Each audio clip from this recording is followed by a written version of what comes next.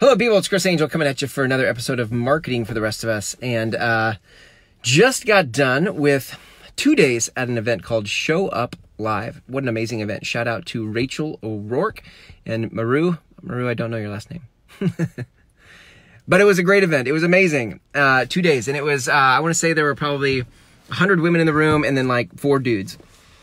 Uh, and so it was uh, super amazing and what I uh, realized, this is a really interesting conversation for me. Um, this was maybe one of my ahas over the weekend, for me personally, was um, my audience. My audience might be women. I mean, there's a lot of there's a lot of guys that um, I connect with, and that's awesome. I love connecting with uh, dudes in my tribe. I re- but I realized like 60%, maybe 70% of my engagement on this show and other posts that I make on social um, are from women. Um, and I think that's because I'm a I'm a guy, I'm a male who is in touch with his feminine energy. Like that's um, I speak about empathy often, authenticity, um, creativity. I talk about holding space for people. Um, so a lot of the not just the words I use, but the space I come from is um, a space that resonates with women, and rightfully so right? Um, doesn't mean it doesn't resonate with men. It doesn't definitely doesn't res- resonate with all men, um, but it is uh, definitely more more weighted towards um, a feminine energy, if you will, um, with the kind of message that I have. Right, authenticity in marketing. You don't have to close people. You don't have to be a hardcore closer. Like all that stuff. Like I don't want to be a hardcore closer. And um, I just found I, f- I find that women are way more intuitive with um, people and their emotions. Um, I'm very, I love diving deeper into my own shadows and emotions, and I find that women are more willing to go towards the their emotions faster. Um, and so when I speak from um, an emotional place, women pick that up faster, right? And so I realize like my a lot of my engagement on social uh, comes from women. So I had a chance to speak this morning. I spoke this morning at 9:45 uh, for 30 minutes on certainty. And if you've seen some of my posts recently on certainty, um, I sort of recreated that today in the room. Um, and what was so rewarding about that was that I was delivering it to a room who was get they they got it. They were getting it. Like they um it was they were so supportive and so like they were just like, oh yeah, and like I was like it was like church, right? They were just giving me so much verbal feedback as I was speaking because what I was saying was landing, right? Now, take that same conversation and put it in front of uh, a room full of other people. We could just we could say guys who aren't in, connected to their emotions, or we could say women who don't like to hear from men, whatever, right? Um, the wrong audience. And you could put that same message. I delivered it well. It felt really good as I was delivering it. Um, definitely felt like something was coming through me, right? But I could have done that same thing in front of the wrong audience and it wouldn't land. In fact, I did this uh, several years ago. Uh, a long time ago now. It feels like five, six, seven years ago. Um, I was um, out in the Midwest somewhere, and I was teaching some real estate stuff. Like I had, like at that time, I normally had taught real estate stuff, and I delivered it uh, with the same energy I delivered it in other places, and it just didn't land. Like the the room was just like, oh, I was like a wet blanket. I couldn't get any sort of feedback. Same delivery I'd done other places, um, and uh, it just didn't land. Right, it just didn't land.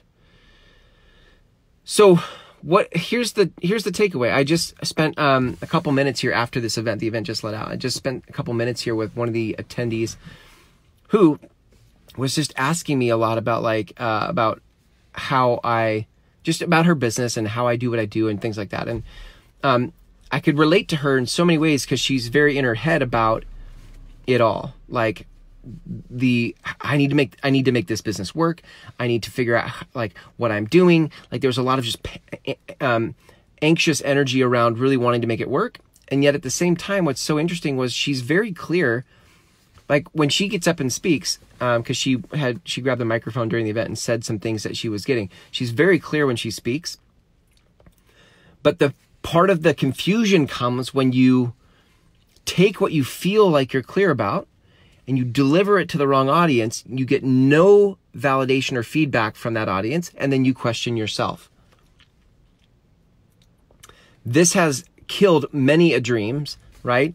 Where you you feel that you got a download, you got some you got some divine inspiration and you're like, "Oh, this is it." And then you took that you may have even worked on it for a lot. So you felt prepared or something and then you took that to the world and it and you, were met with crickets. You got no no sort of external validation from people whether the message landed or not. In fact, you could tell it did not resonate with people. It did not resonate with people. And then you took that feedback. I mean, it was feedback. It was just feedback that wasn't resonating feedback. It was feedback like, oh, that sucked. And you take that feedback and you make it, you, you think it had something to do with you. When in reality, the whole time it may just have been the wrong audience. And, and in fact, I, I feel like in my own 17 year journey of business, one of the hardest things for me to do uh, or to find was my audience. Who is my audience? How do I how do I quantify this? How do I say this succinctly? Like, you, you know, I've done exercises where you try to create your avatar. My avatar is a 35 year old uh, male. Oh, wait, is it a female? I don't know. Which, which do I pick? Male, female? I don't know. Uh, they're in business and they are, and we go through this exercise where we keep trying to figure out who our avatar is. And we're still no clear after the exercise. And so finding your audience, your target audience becomes a very can be a very difficult thing to to identify. But what I'm going to tell you is that unless you identify it, you're going to spend all this time having received divine inspiration, then share divine inspiration, having only not resonate with people, and then think it's that that it's something wrong with you. And then that causes you to doubt your intuition. When none of that is wrong. It's just that you're putting it in front of the wrong people. And you listen, if uh, you know you've had moments, you I would guess you've had moments where you've said something to the right audience or the right person and it resonates, it lands, and you're like, oh, that felt really good. And then there are other times where you put it in front of the wrong audience and you're like, I couldn't, I couldn't tell if that was good or bad or whatever, but it sure didn't, it didn't feel good. So here's let me see if I can't give you a couple places to look for how this might, uh, where you might find your tribe, right? I, I think the first principle here is that you are your own tribe. You are your own tribe. Now, I just said at the beginning of this Facebook Live that um, I'm I am on the fence that women might be my audience, and I am not a woman, right? Uh, women might be my audience, and I am not a woman. Um, yet, and yet, there are things in that space that I uh, identify with. Like I said, like my conversation is about empathy. It is about authenticity. it is about holding space for people. Um, and a lot of that is feminine. It, it comes from a feminine energy, right? Um, and, and like I said, 60 to 70% of my pe- people that engage with my content are women. So, um, that is true to my tribe. My tribe are people oriented. They value authenticity. They want to inspire and help people, not bother and close people. Um, my audience wants to make a real connection. They want transformation for people. Um, this is my audience. And um, so as I uh, had, so I sponsored this event and that I spoke at this morning. And so when I had the opportunity to sponsor it, it made complete sense to me to invest in that opportunity because I'd be in a room in front of a hundred plus women around a conversation about showing up in life. That's totally my conversation.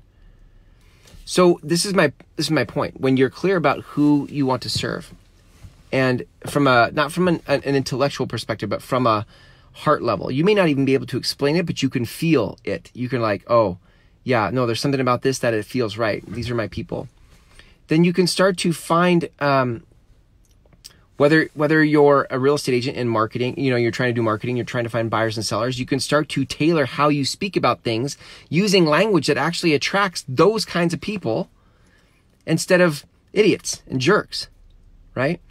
If you're uh, in some other kind of business, whatever business you're in, when you know who your audience is, um, oh, this is the other thing I told her too. This is so good not just that you can identify opportunities Uh, that are going to be the right people, but you but your certainty expands.